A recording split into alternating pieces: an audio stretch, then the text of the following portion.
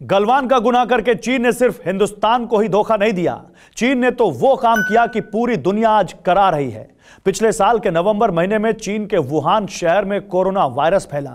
फिर नए साल की शुरुआत तक यह वायरस चीन की सरहद को लांग कर दुनिया के कई देशों में मौत का पैगाम लेकर पहुँच गया। 2020 के खत्म होने तक कोरोना का कहर बदस्तूर जारी है और इससे हिंदुस्तान भी अछूता नहीं है।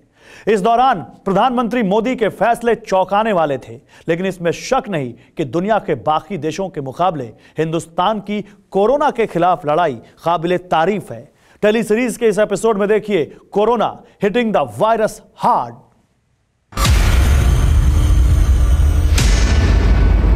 11 March को विश्व स्वास्थ्य संगठन ने कोरोना को महामारी मान लिया। भारत में विदेश से आए लोगों के ज़रिए कोरोना चेन फैलती जा रही थी।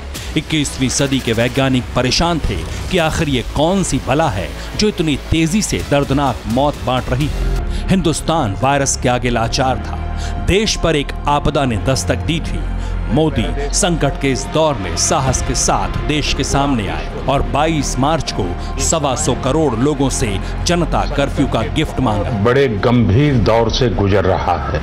22 मार्च रविवार को सुबह सात बजे से रात नौ बजे तक सभी देशवासियों को जनता कर्फ्यू का पालन करना है।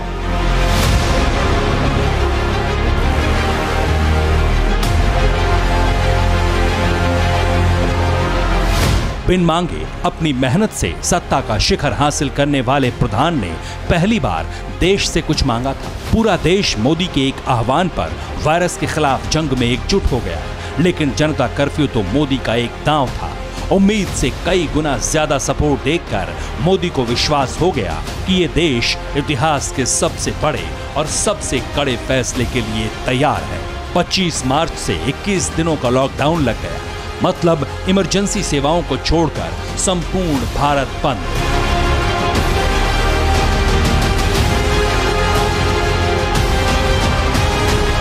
आज रात 12 बजे से संपूर्ण देश में संपूर्ण लॉकडाउन होने जा रहा है। हिंदुस्तान को बचाने के लिए हिंदुस्तान के हर नागरिक को बचाने के लिए, आपको बचाने के लिए, आपके परिवार को बचाने के लिए, आज रात 12 बजे से घरों से बाहर निकलने पर पूरी तरह पाबंदी लगाई जा रही है।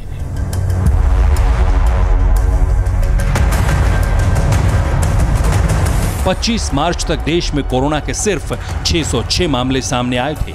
लेकिन मोदी ने वक्त रहते लॉकडाउन का फैसला लेकर यह साबित कर दिया कि उन्हें हिंदुस्तान की उतनी ही फ़िक्र है जितनी हिंदुस्तानियों की। मोदी ने खुद जाकर made in India vaccine project का मुआयना किया।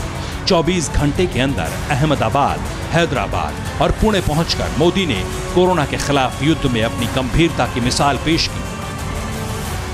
बहुत जल्द कोरोना की वैक्सीन आम लोगों को मिलेगी। हर हिंदुस्तानी तक वैक्सीन पहुंचाना मोदी का प्राइम एजेंडा है।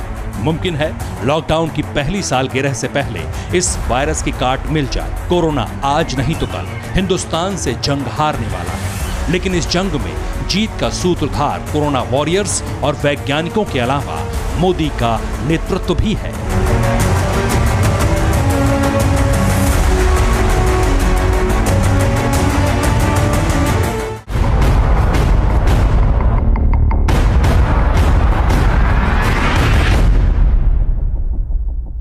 न्यूज़ टॉप नाइन रोज सुबह सात बजे और शाम सात बजे, सिर्फ़ टीवी नाइन भारतवर्ष पर।